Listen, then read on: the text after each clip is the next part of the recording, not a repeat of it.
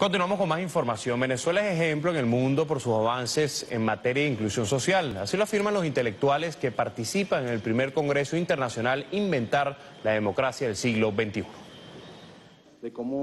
Un modelo social que toma en cuenta las verdaderas necesidades del pueblo y que prioriza bienes y servicios para el colectivo. Es el paradigma que triunfa en el mundo y la pauta la pone Venezuela.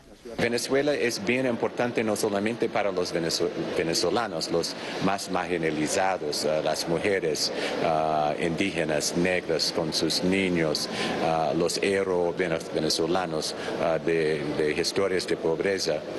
es un, un fundamento de posibilidades, impulsando nuevas ideas alrededor del mundo. Y el concepto de la democracia participativa. Amamos el proceso venezolano lo cual no significa que no lo que no lo miremos, que no lo evaluemos, que no tengamos nuestra, nuestras valoraciones, pero amamos el proceso bolivariano por estas dos cosas que yo comentaba al principio. Primero, reinstala en el mundo, no en nuestra patria latinoamericana, una discusión estratégica que el sistema capitalista había ocultado, ¿no? que es ni más ni menos que la construcción de una sociedad socialista.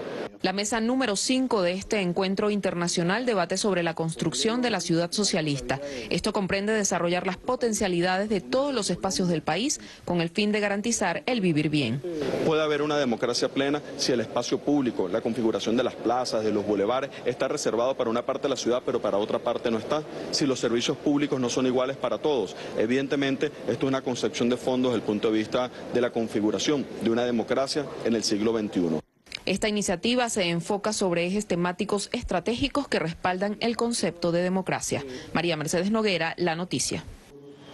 En Venezuela se está dando un proceso de construcción colectiva del socialismo. Así lo expresó Gonzalo Beikbeder, representante de derechos humanos de la República de Argentina, invitado al encuentro internacional que se realiza en nuestro país. Beigbeder afirma que este es un encuentro único para debatir logros y alcances de un sistema de gobierno que está en defensa de los derechos humanos de todo el pueblo. Este encuentro para nosotros es importantísimo porque estamos viendo que parte de eso, por lo que ellos luchaban y soñaban, se empieza a concretar en América Latina.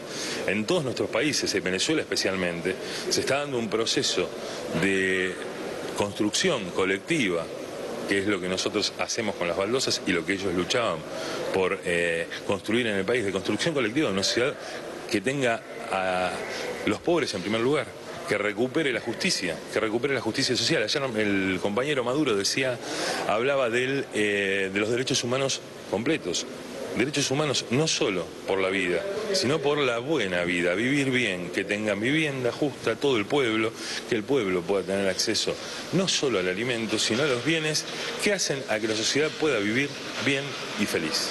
Por su parte, el ministro para la Cultura, Reinaldo Iturriza, reiteró que generar propuestas de acción en conjunto forma parte de las conclusiones que se deriven de este Congreso. Esto es un Congreso que más allá de la discusión apunta, si no es decir, no, eh, tiene que necesariamente generar eh, propuestas de acción. Nosotros hemos previsto las condiciones de logística y de toda naturaleza para que eso sea así. Es decir, aquí nosotros vamos a salir con propuestas para la acción, en este caso para activar eh, fuertemente en el espacio público desde la cultura. Son 36 delegados de 13 países que asisten a este Congreso. 250 personas integran las mesas de trabajo y más de 500 participan en las diferentes actividades programadas. Encuentro que reúne a investigadores, artistas, activistas de los derechos humanos, militantes de movimientos sociales y público en general. Mesas de trabajo en las que intervienen los invitados nacionales e internacionales para debatir los diferentes temas presentados en este Congreso y así aportar sus ideas y propuestas para la construcción de un programa de acción de apoyo mutuo.